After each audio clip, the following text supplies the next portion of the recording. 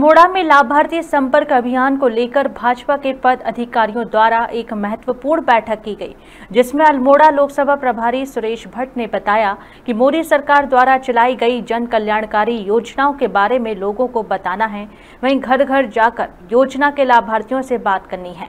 प्रदेश में नौ लाख लाभार्थियों को अभी तक चिन्हित कर लिया गया है, जिसको बढ़ाने के लिए आज कार्यकर्ताओं को प्रशिक्षण दिया जा रहा है।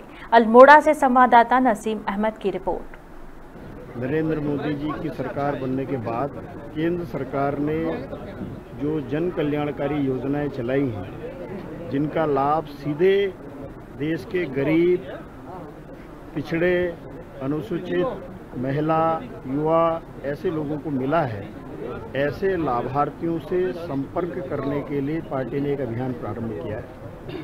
अभी पूरे देश भर के अंदर लगभग 25 करोड़ ऐसे लाभार्थी हैं जिनको किसी न किसी योजना का लाभ मिला है। पार्टी ने उनमें से लगभग ऐसे 6 करोड़ लोगों को आइडेंटिफाई किया है जिनको एक या एक से ज़्यादा योजनाओं का लाभ मिला उत्तराखंड के अंदर भी ऐसे लगभग हमने 9 लाख से ज़्यादा लोगों को आइडेंटिफाई किया है। वैसे तो लाभार्थी और बहुत ज़्यादा हैं।